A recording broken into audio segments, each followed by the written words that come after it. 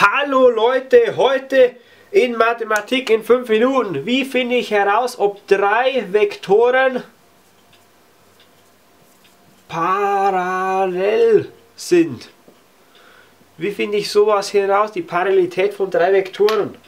Also, ich habe den Vektor 3, 2, 1, 6, 4, 2 und den Vektor 9, 6, 3. Wie ihr es bei zwei Vektoren herausfindet, habe ich euch schon gezeigt. Natürlich könnt ihr das, also diese zwei Vektoren nehmen, einen K-Faktor finden, dann diese zwei Vektoren nehmen, einen K-Faktor ne-, finden und dann diese zwei Vektoren für nehmen und einen K-Faktor finden und wenn jeder mit jedem parallel ist, könnt ihr sagen, okay, es passt. Es gibt natürlich jetzt noch bei drei Vektoren eine einfache Variante, das ist über die Determinante.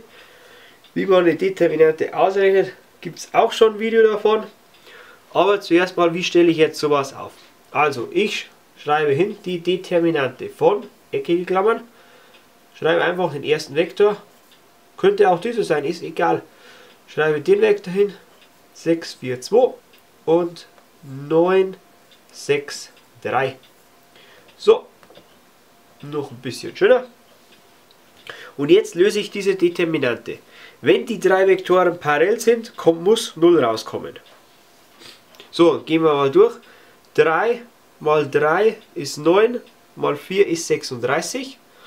Wisst ihr, Hauptdiagonale mal Hauptdiagonale. 6 mal 6 mal 1 ist wieder 36. Und 9 mal 2 mal 2 äh, mal 2 mal 2 Sprich 4 mal 9 ist auch 36. Minus, so jetzt die andere Richtung. 4 mal 9 ist 36.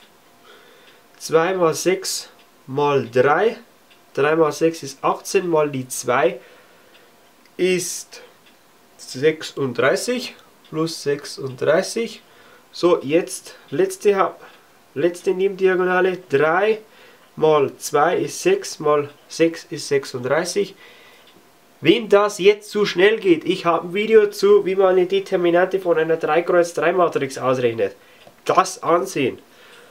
Und jetzt seht ihr hier schon, aha, 36 plus 36 plus 36, 72 sind 78, 108 minus 108 und das ergibt 0. Und was können wir dann sagen? Wir sind parallel. Wir drei Vektoren sind parallel.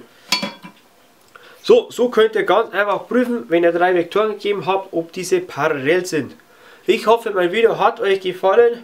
Würde mich freuen über einen Daumen hoch. Euer Mathematik in 5 Minuten.